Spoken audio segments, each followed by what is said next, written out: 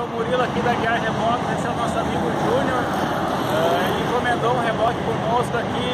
Uh, foi feito o projeto conforme a necessidade dele, que ele tem uma empresa de jardinagem. Todo o maquinário aqui foi devidamente calculado para servir com, uh, corretamente. Ele vai ter a utilização para ele no seu serviço, também podemos usar para lazer, né, Júnior? Para usar para os dois fins, né? Então, é um reboque de trabalho e de lazer. Para carregar a moto também, né? A moto, diversos. É um utilitário, é um utilitário ele pode usar para diversos fins aí, né? Então esse projeto foi feito de acordo com a sua necessidade, né? Venha conferir, traga seu projeto.